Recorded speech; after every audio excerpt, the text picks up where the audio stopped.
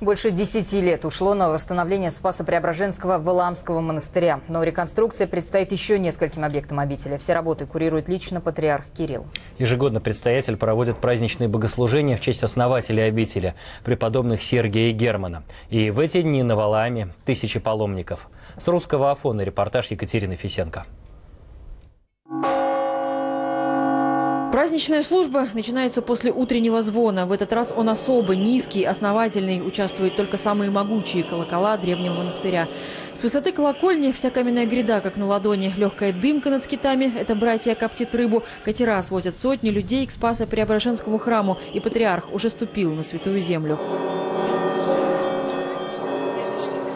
День памяти преподобных Сергия и Германа – главный праздник Валаама. Службу в честь основателей монастыря каждый год проводит сам патриарх. Под его личным попечением находятся все соборы острова. Монастырь, который является действительно жемчужиной всего православного, а даже, можно шире сказать, всего христианского мира. Э, монастырь на глазах меняется. И каждый мой приезд, к сожалению, единожды в год, Леса на главном Спасо-Преображенском храме как наглядное пособие к тому, о чем говорили на попечительском совете по восстановлению монастыря. 20 с лишним лет после возрождения монашеской жизни не прошли даром. Восстановлены абсолютно все скиты, построена даже новая пожарная часть в виде сеного сарая, чтобы не сильно выделялась на фоне деревенских пейзажей. По мелодичности с колоколами Валаама может соперничать молоток мастера. И только на плохих, выветрившихся кирпичах инструмент фальшивит.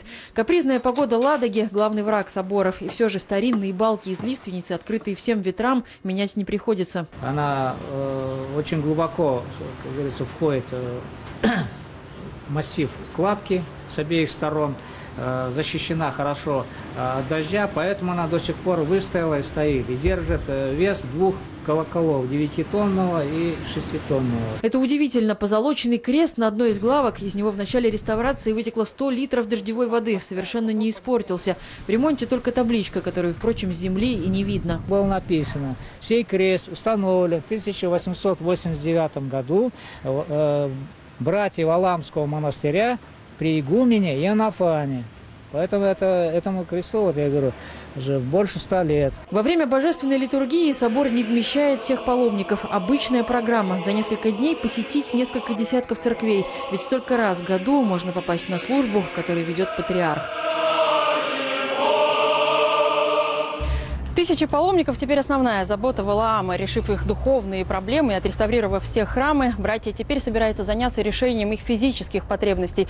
На очереди ремонт зимней гостиницы, в которой пока и кино, и детские кружки, и приют для нескольких десятков котов. В следующем году к очередному приезду патриарха ремонт гостиницы должен быть завершен, а значит появится еще больше возможностей помолиться и насладиться северной природой. Екатерина Фисенко, Сергей Иченко, Алексей Сосырин, Александр Федоров. Вести, Валаам.